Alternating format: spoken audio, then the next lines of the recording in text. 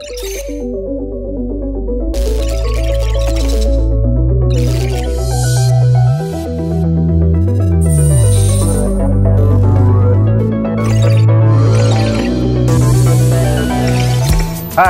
welcome aboard the International Space Station. I'm astronaut Ricky Arnold, and I'm currently at one of our human research facilities on ISS where you can see centrifuges, laptops, and other scientific equipment.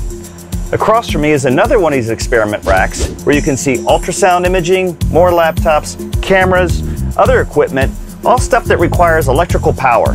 In fact, we have so much equipment for science and life support that our electrical system has about 8 miles or 13 kilometers of wiring to make it all work. So where does this energy come from? Let's have a look.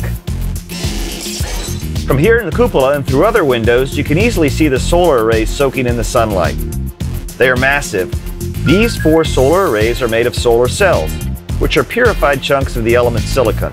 Together, the solar arrays contain a total of 262,400 solar cells and cover an area of about 27,000 square feet, more than half the area of a football field.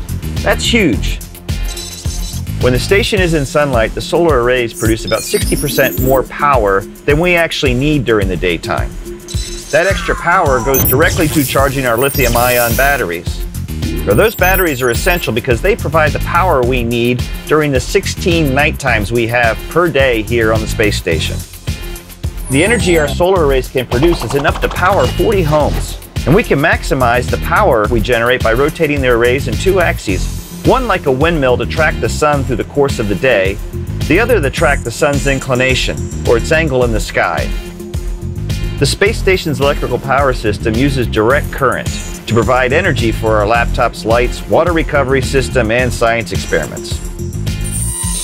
Thanks for coming aboard today. Now back to Earth.